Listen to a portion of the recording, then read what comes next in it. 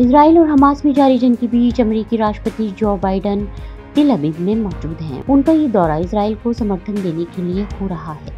इस दौरान जो बाइडन ने इसराइल को सलाह भी दी कि वह गुस्से में उस तरह की गलतियों को न दोहराए, जैसे कि अमेरिका ने 9/11 हमले के बाद की थी। बाइडन ने अपने दौरे पर कहा, मैं आगाह करता हूँ कि जब आप उस गुस्से में हों तो उससे प्रभावित ना हो। 9/11 के बाद हम अमेरिका में गुस्से में थे। हमने न्याय मांगा और न्याय मिला तो हमने गलतियाँ भी की। इससे पहले जो बाइडन ने इसराइल को गाजा के अस्पताल में हुए हमले की घटना में क्लीन चिट देते हुए कहा था कि ये हमला इसराइल ने नहीं, बल्कि दूसरी टीम ने किया है। अमरीकी राष्ट्रपति ने कहा कि उनकी टिप्पणी के गाजा अस्पताल में विस्फोट के लिए इसराइल नहीं, बल्कि अन्य टीम जिम्मेदार थी। अमेरिकी रक्षा विभाग द्वारा उन्हें दिखाए गए आंकड़ों पर आधारित।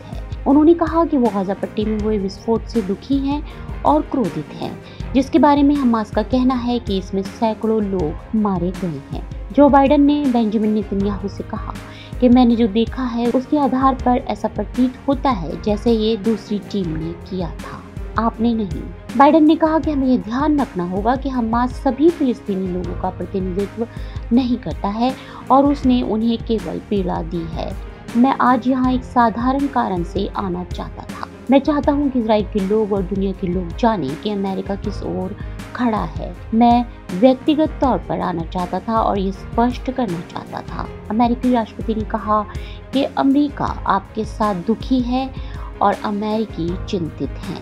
बाइडन ने कहा कि हमास ने 33 अमेरिकियों समेत कई लोगों की हत्या कर दी है। उन्होंने इसराइल के लिए समर्थन व्यक्त करते हुए कहा कि अमेरिका सुनिश्चित करेगा कि इसराइल को अपनी रक्षा के लिए जो चाहिए उसके पास हो। नेतन्याहू ने इसराइल आने और समर्थन जताने के लिए बाइडन को धन्यवाद भी दिया। उन्होंने कहा कि हमास के अपराधों में दुष्कर्म, अपहरण, छोटे बच्चों को निशाना बनाना और आगजनी वगैरह शामिल हैं। Bureau report news